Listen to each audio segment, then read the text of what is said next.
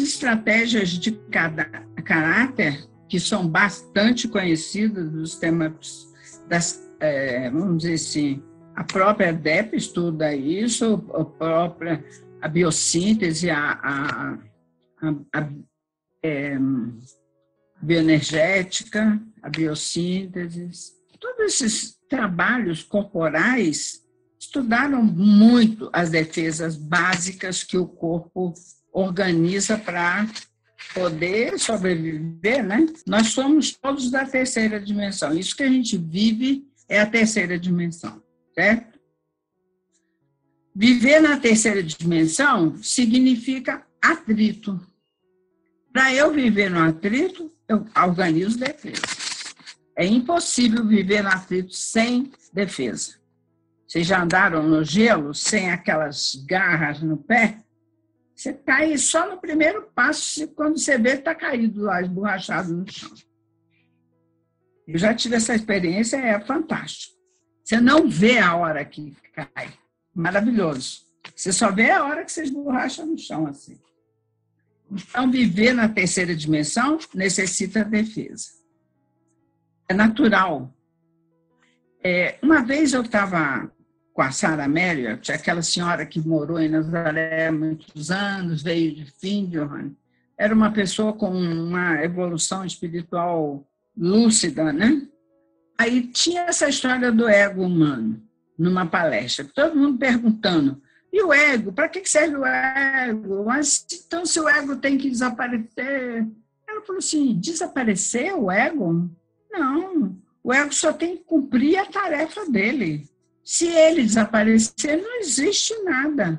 Aí a pessoa falou: ah, não compreendi. Aí ela deu um exemplo que eu uso bastante, que eu achei maravilhoso. Sabe uma caneta? Ela pegou uma caneta bique assim, que estava bem pertinho. É, o ego não é a mão que segura a caneta. O ego não é o corpo da caneta. O ego não é a tinta da caneta. Sabe o que é o ego? A ponta da caneta. Sem ego, você não risca o plano físico. Você não escreve, você não desenha. Então, você precisa do ego. Só que ele é um servidor. Ele só tem que obedecer. Então, eu fiquei muito comovida com essa explicação, de entender assim, eu recebo uma intuição, eu obedeço. Eu, minha intuição eu obedeço totalmente. Eu só sou a ponta da caneta. O ego não desaparece. Ele tem só que cumprir a tarefa dele, obedecer o que vem e passa por ele. Ou seja, está acontecendo uma situação, Obedeça. O que é que você está aprendendo naquela situação? É só isso. É, é uma recolocação do lugar do ego muito boa. Eu acho, pelo menos.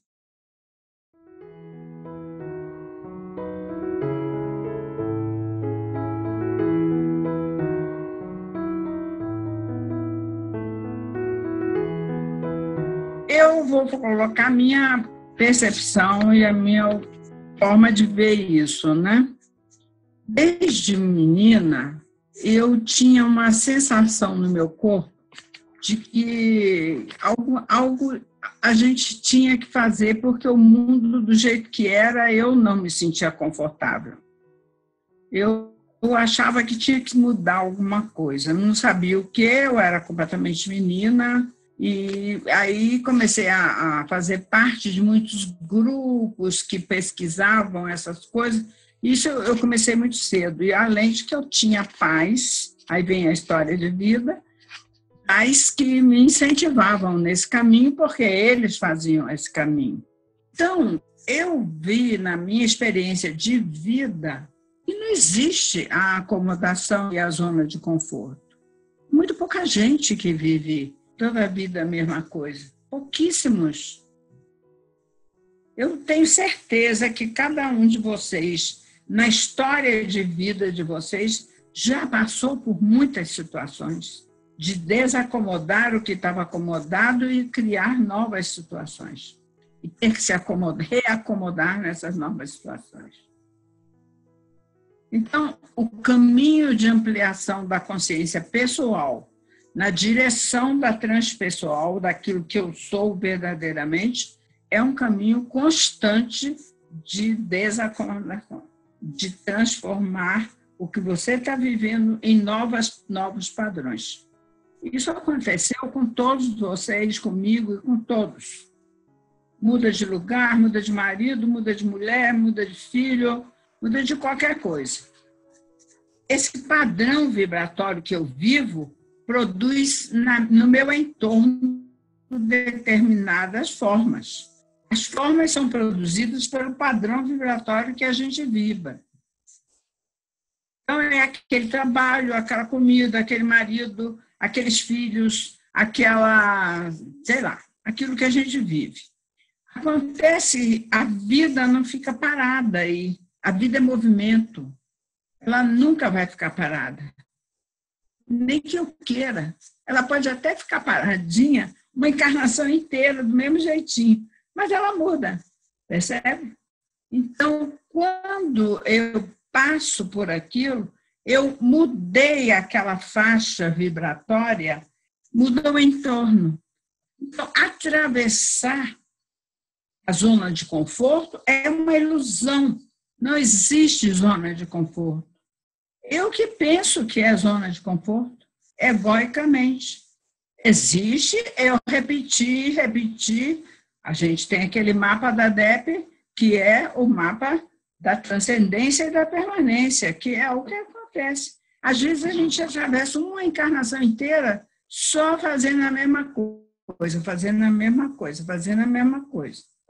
Escolheu isso, vai viver isso. Mas não vai ficar aí porque ninguém fica. Desconhecido é o próximo minuto. o desconhecido é o próximo minuto.